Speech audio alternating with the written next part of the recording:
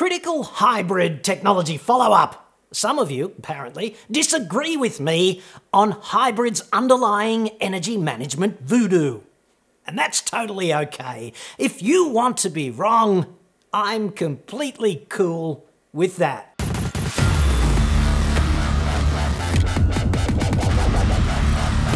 I'm John Cadogan from AutoExpert.com.au, the place where new car buyers save thousands off their next new cars. Hit me up on the website for that.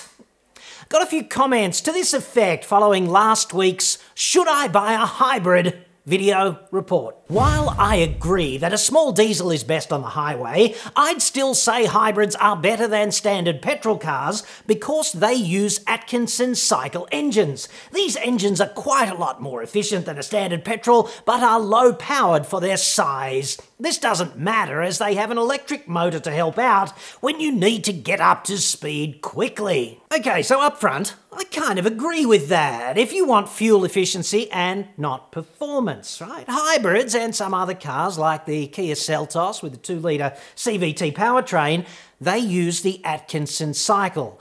Good for economy, generally bad for performance. Atkinson, of course, is a thermodynamics hack. They leave the inlet valve open a little bit longer than usual on Otto cycle engines, and this ejects, by way of contraflow, a little bit of the inlet air from the cylinder. It just contraflows back up the inlet port. And that hacks the ratio of the compression ratio to the expansion ratio for the engine. Atkinson cycle engines have less compression ratio relative to their expansion ratios, and that derives a greater thermal efficiency benefit, but at the expense of peak power performance because you're limiting the amount of air the engine can consume. So you typically don't see Atkinson cycle engines on exciting cars. So, this business about being better really depends on whether you are performance focused or economy focused, and the market does tend to be a little bit polarized like that. If you are performance focused and you deplete the battery in a hybrid, you don't get the electric powertrain's potential for additional assistance. My main point about hybrids is that the regenerative braking is how they do their energy management voodoo. It's this and not the Atkinson cycle which sets hybrids apart, capturing kinetic energy under brakes and converting it to electricity and then using it to get going again. That is a hybrid car's big trick. And on the highway, where regenerative braking opportunities are actually minimized, it would be better if you could simply wave Harry Potter's wand and magic away the whole electric side of the hybrid system. Just get rid of it. Because in those conditions, it really is just excess baggage. If you want confirmation of this, look up the fuel figures and compare ordinary cars to hybrids. Hybrids are generally better on fuel around town than they are on the highway, even though urban driving is very energy inefficient intrinsically because it has lots of stop start driving, right? The latest Corolla hybrid, for example, is an excellent example of this phenomenon. It uses 10% more fuel out on the highway compared with the urban test. It's regenerative braking doing that, not the Atkinson cycle. Aussie Guy 69, who we heard from initially, went on representatively enough. Just one other thing hybrids not only charge their batteries from regenerative braking, but they also charge from the engine if it's ever running, but not under enough load to be most efficient. Then it turns the engine off and uses electricity until the battery is drained a bit, then restarts the engine and repeats the process. To be fair on this, it's only some hybrids that do that. You know, some hybrids will charge the battery using the internal combustion engine. Absolutely, no argument. Typically, these are the ones with big batteries that rely on the electric side heavily for conventional levels of motive power performance. And it's kind of a nice idea, potentially, but unfortunately, that's not an example of proper energy management voodoo. It's a compromise in hybrid vehicles where the electric side of the powertrain is designed to do a great deal of the heavy lifting.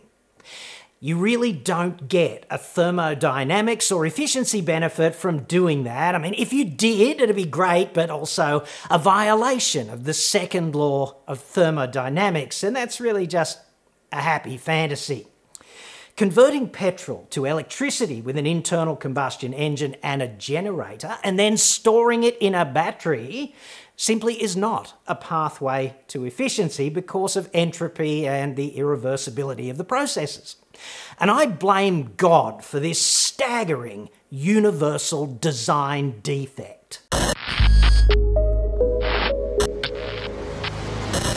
And while we're off on this beer garden physics thermodynamics happy tangent, remapping companies all make cake and eat it too claims. The obvious one is you get more power and better fuel economy.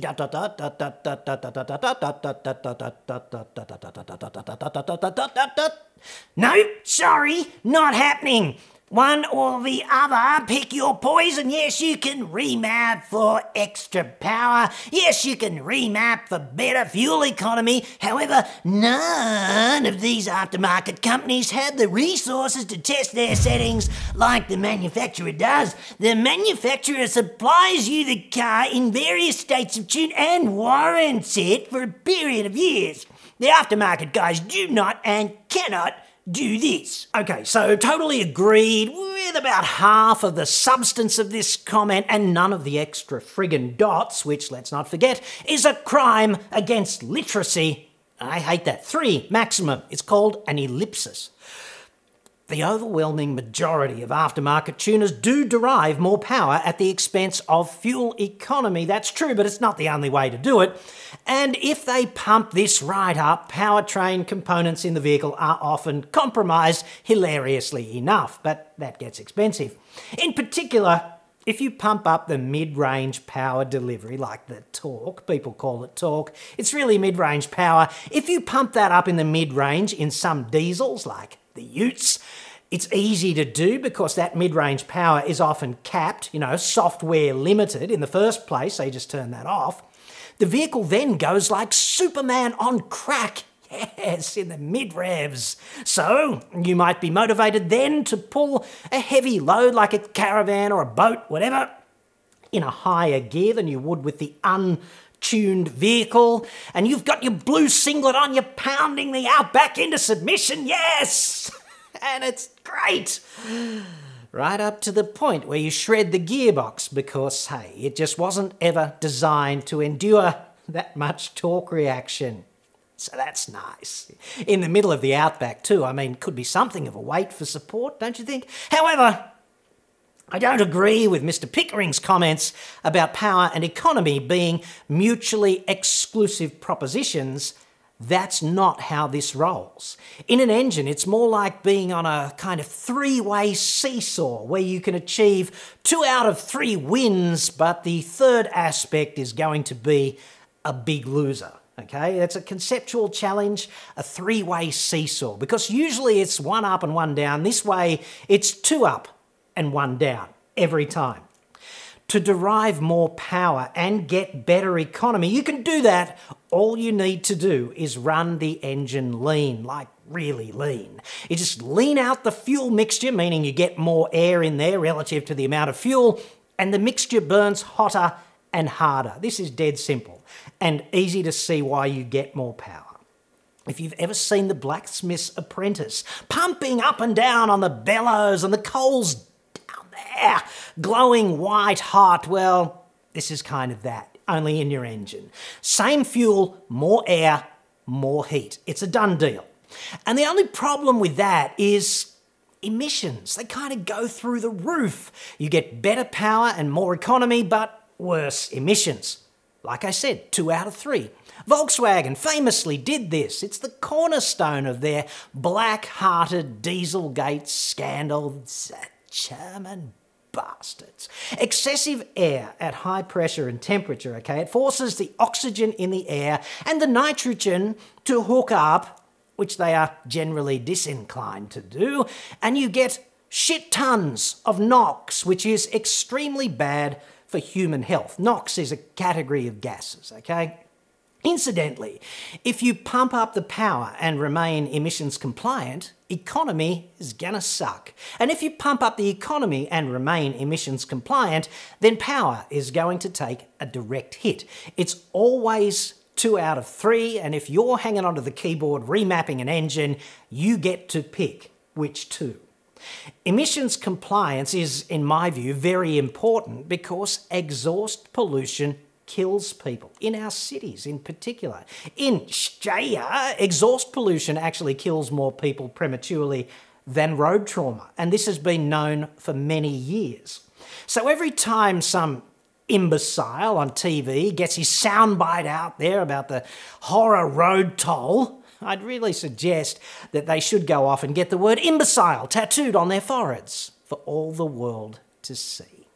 Because the real horror out there on our roads today is coming out of exhaust pipes, especially the exhaust pipes of older trucks operating on roads in our cities.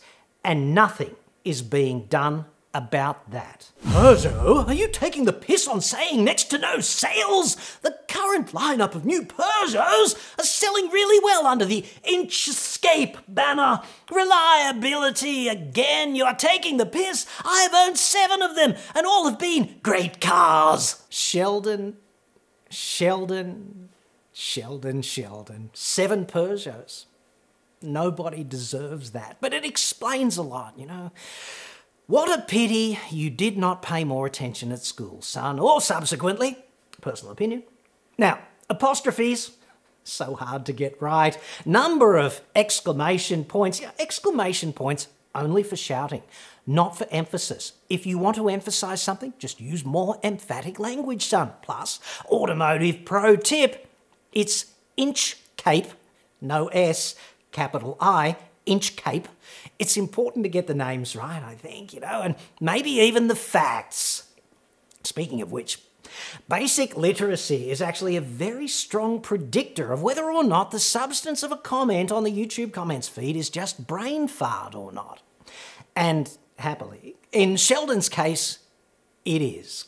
Year to date sales for Peugeot are 2,052 vehicles for Australia nationally, that's nothing, I'd suggest. The same period in 2018, though, 2,325. That's almost a 12% drop over a year. The same period in 2017, 2,339 and regressing another year to 2016, same period though, 2,857. A big drop over that time period overall, it's a 28% reduction in sales for Peugeot since 2016. And the brand was nowhere in 2016, let's not forget. So it's even worse than that now under capital I, no S, Inchcape. Peugeot remains a dud brand, going nowhere fast in this country, that you'd buy only for some highly irrational reason, I'd suggest, such as being in love with it. Because objectively, buying a Peugeot remains a fail.